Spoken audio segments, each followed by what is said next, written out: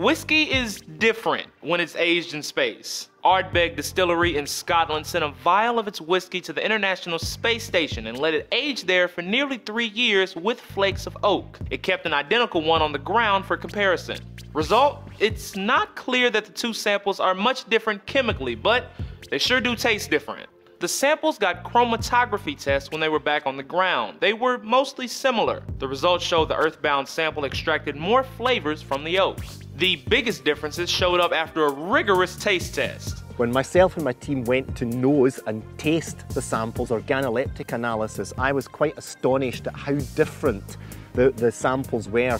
In the bottle sent to space, tasters caught hints of smoked fruits, peppermint, and cinnamon, but also antiseptic lozenges and rubbery smoke. Yum.